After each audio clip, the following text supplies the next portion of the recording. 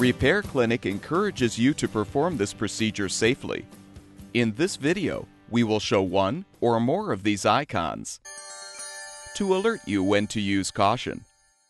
Before you begin this repair, make sure the engine has cooled. Remove the wire and boot from each spark plug.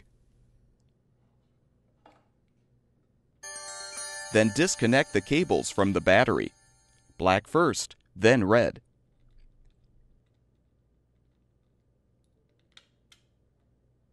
Your next step is to use locking pliers or a clamp to close off the fuel supply line.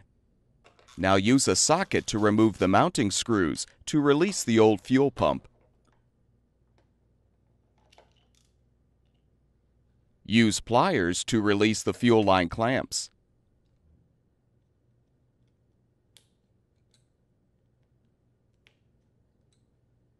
Install the new fuel pump by transferring the fuel lines from the old pump to the new one. Be prepared for some gasoline to spill out.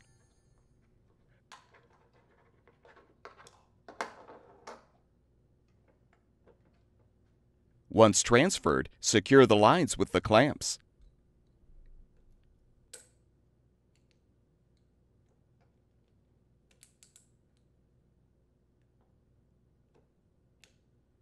Mount the new pump onto the blower housing and secure the screws.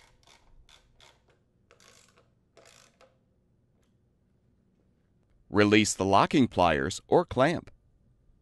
With the new fuel pump in place, you can now reconnect the battery cables, red first, then black.